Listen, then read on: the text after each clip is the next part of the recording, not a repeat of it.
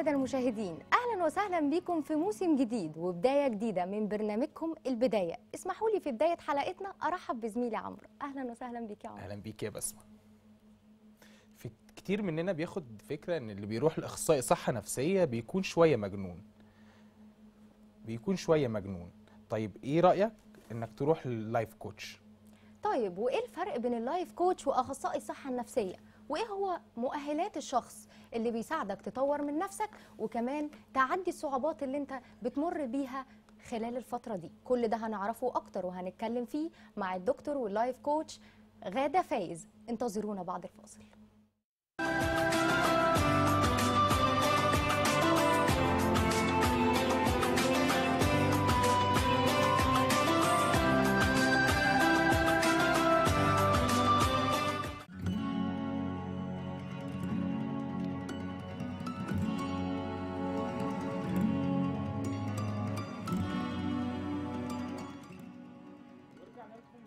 الفاصل ونرحب بضيفتي العزيزة الدكتورة غادة فايز. أهلا بيك يا دكتور. أهلا بحضرتك دكتور عمرو أهلا بيك. ازي حضرتك؟ بخير والله. في البداية نحب نعرف يعني إيه ال life coach آه والله ال life coach هو معناه بالعربي مدرب الحياة. ممتاز. اللي هو بيساعد الإنسان أو الشخص آه إن هو يوصل لأهدافه.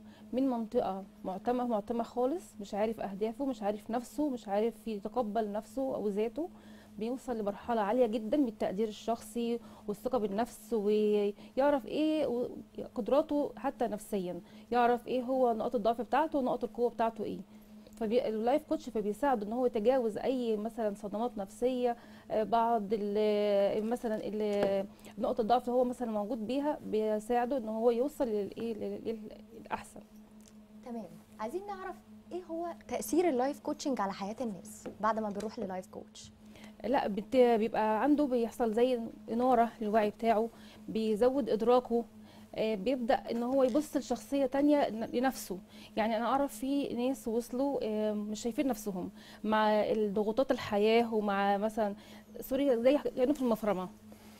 سواء شغل أو حتى مثلا كربة بيت أو حتى أي إنسان في شغله مش عارف يوصل اللي عنده أهداف كتير مش عارف ومتلخبط في حياته ال life coach لأ بيظبط له الدنيا بيحط له بالظبط النقط منيرة طوال حياته إن هو يمشي إزاي ل steps معينة عشان يوصل للهدف بتاعه بيوجهه يعني للطريق بيوجهه الصح. بيوجهه من غير أقول له أنا إيه إحنا بنقعد في جلسة نعرف إيه الدنيا عنده ومن خلال ال- إدارة الحوار بيوصل للإيه لل- للنقطة بتاعته تمام.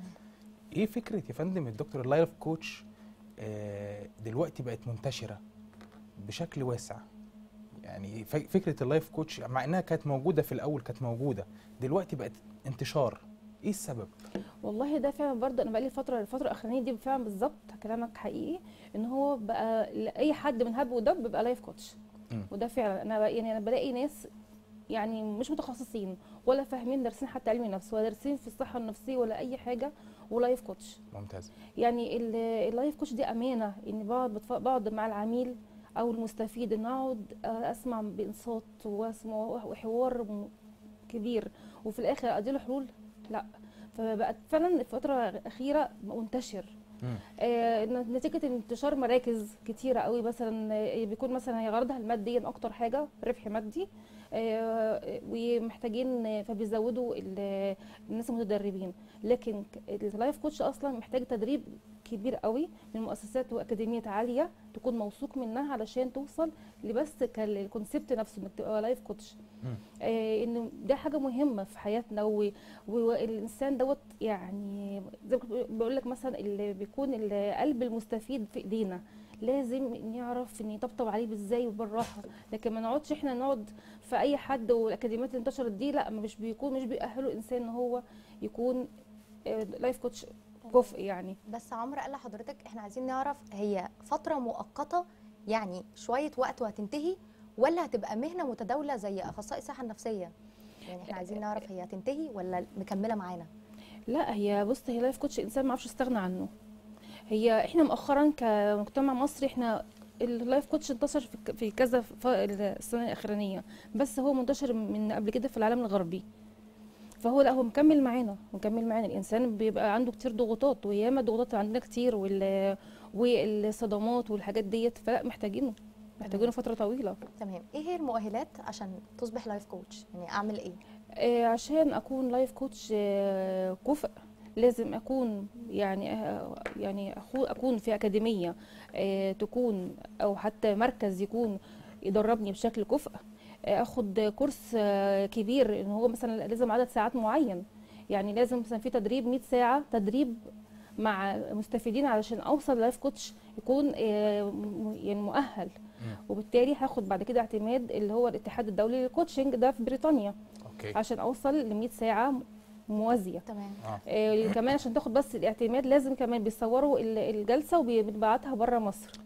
فده عشان نوصل لحاجة يعني حاجة كفء جدا. آه بس فدوت في حاجات معينة بتتاخد؟ حاجات بتاخد آه وكمان لما كمان يعني ال- ال- ال life coach الجيد كمان بيلاقي إن في بعض الكورسات لازم تكون ياخدها مع الكورس life coach عشان تأهله إن هو يعرف يعني يخلي المستفيد دوت على طريق الصح. بالظبط. إمتى اعرف يا دكتور ان أنا محتاج لل life coach وامتى اعرف ان أنا مع ال life coach الناجح؟ تاني؟ إمتى اعرف ان أنا محتاج life coach وامتى اعرف ان أنا اكون مع ال life coach الناجح؟ سؤال جميل جدا. الله يخليك. آه، اعرف إمتى اكون مع life coach ناجح لما أنا هي بعد كام جلسة أو حتى من أو من بعد كام جلسة فعلا احس اني بدأت يعني اخد خطوات عملية في الطريق اللي أنا كنت مع مع الدكتور أو مع ال مع ال coach بتاعي. يعني مثلا من أول جلسة أو تاني جلسة بنبدا إحنا ناخد الهدف الرئيسي لل- لل session بتاعي. ممتاز. بعد كده هيدينا مثلا واجب منزلي أو homework هنمشي بالخطوات والتقنيات اللي ال coach بتاعي اداها لي لو أنا ماشي في مسار صح وبدأت أعدل من وعيي ومن من من طريقي.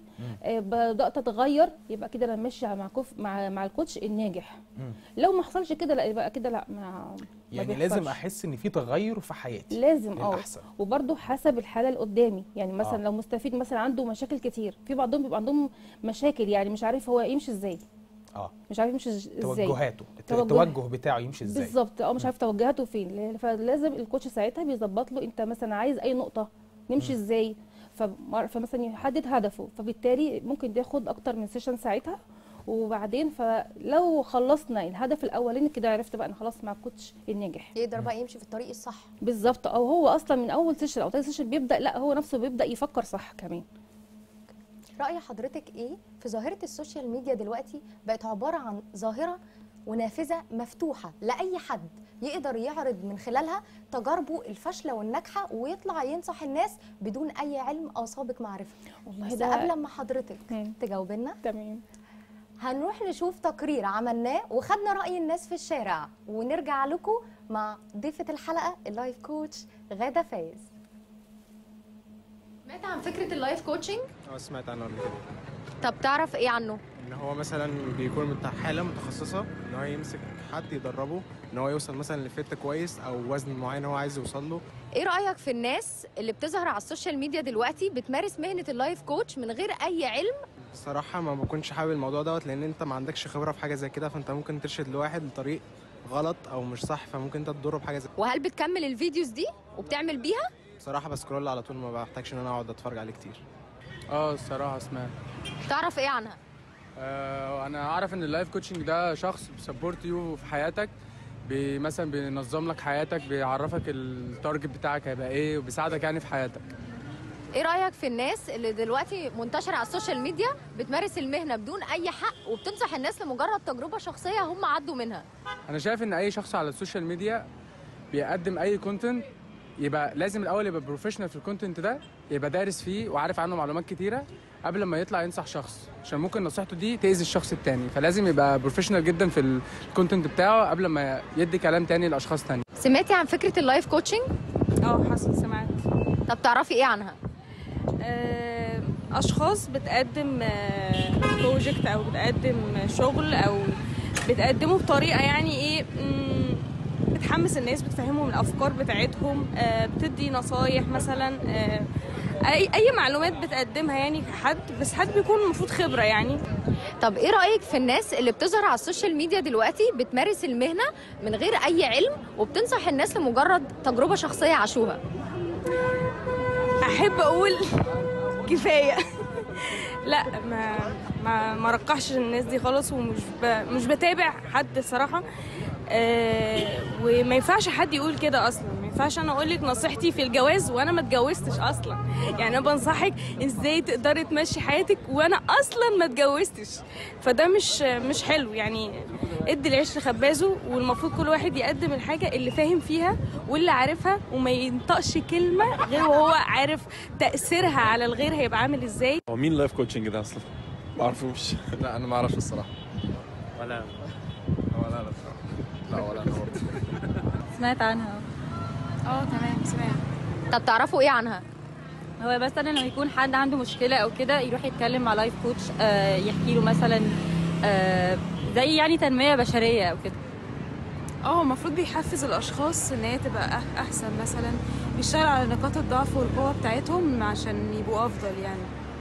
إيه رايكم في الناس اللي منتشرة على السوشيال ميديا دلوقتي بيطلعوا يعملوا فيديوهات ينصحوا الناس من مجرد تجربة شخصية عدوا منها من غير أي سابق علم؟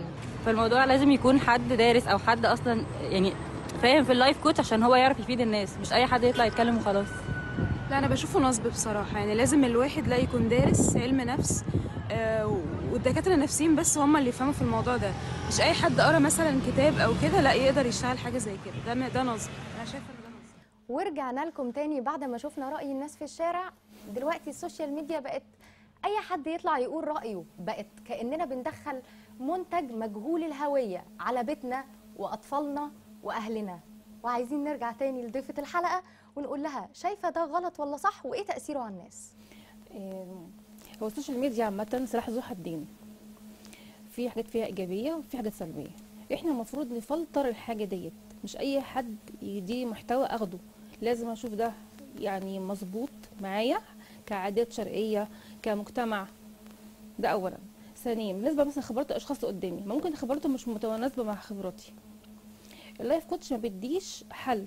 ال life coach بيديكي آه، بيقعد يعمل إدارة الحوار في ال session نفسه. لكن آجي أنا ك life coach أقول لك هتعملي واحد اتنين تلاتة طبعا ده مفهوم خاطئ جدا جدا. فإحنا المفروض نعمل زي آه، آه، فلتر ونصفي دماغنا شوية ناخد الصح من الناس المظبوطة. مش أي حد والناس اللي هم مؤهلين. مش أي حد طلع مثلا بمعلومة أو طبخة مثلا معلش أو حاجة. حتى بعض الحاجات الغذائية برضو. بنطلع مثلا نقول حاجات ده فول ده مثلا. الحاجة الغذائية دي يعني كويسة جدا جدا. وممكن مع مع الحاجة نفسها أي حاجة غذائية يعني حاجة محتوى يعني غذائي مفيد. ممكن تأثر في حد صح وحاجة غلط. يعني معناها نفس الحاجة أهو. فمش كل الخبرات نقدر يعني حضرتك نكتسبها قصدك من تقولي مم. إن إحنا قبل ما ناخد النصيحة من حد نشوف هو مين. هو مين بالظبط؟ بالظبط. هل هو هو كفء؟ هل هو مؤهل؟ مين دوت؟ نبحث الأول عن ال- ال- التاريخ بتاعه. ممكن يأثر على الناس إزاي؟ هيأثر إزاي؟ لا هيأثر كتير طبعا. يعني مثلا هل دي تجارب مثلا تجربته هو على قده هو هو مفهومه ومعتقده هو. ممكن حد تاني يطبق نفس الحكاية تجيب معاه حاجة غلط يدمر حياته. فمش ما ينفعش. إيه الفرق يا دكتور ما بين المعالج النفسي وال life coach عشان في ناس كتير بتتلخبط ما بينهم. لا فرق كبير جدا. المعالج النفسي بيدي أدوية وطريقة علاجه مختلفة تماما عن ال life coach آه. بيدي أدوية آه، ليها يعني الصحة النفسية فيها ممكن تكون اضطرابات سلوكية اضطرابات نفسية كبيرة جدا مختلفة خالص عن ال life coach فلا دوت ليه مجال وال life coach مجال. ال life coach مش بيعالج أمراض نفسية. أو بيعالج حتى اضطرابات سلوكية أو حتى تعديل سلوك مختلف. آه، بنقعد مع مع في مع العميل نفسه ومن خلال كلامه بن- بنعمل إدارة للجلسة. لكن فمختلف عن أي اضطرابات نفسية اضطرابات ذهانيه أو انفصام شخصية لا ملناش دعوة خالص. المعالج النفسي بقى نرجع تاني المعالج النفسي ده لو حد مثلا عنده آه، مشاكل نفسية عنده قلق ووسواس قهري ومثلا انفصام في الشخصية آه تمام. آه، بيكتب المعالج النفسي بيكتب أدوية إحنا ما بنكتبش أدوية.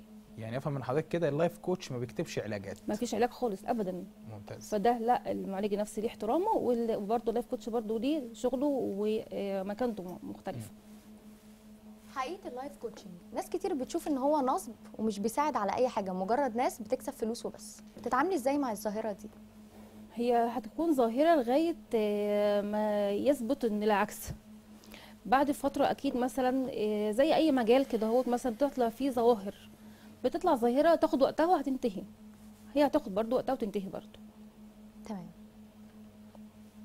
هل اللايف كوتش يا دكتور فترة مؤقتة وهتنتهي ولا هنكمل بيها؟ وده أسلوب جديد وحياة جديدة ننتج نتهي نمشي عليه. أي حاجة جديدة بتبقى ليها اختلافاتها وإيجابياتها.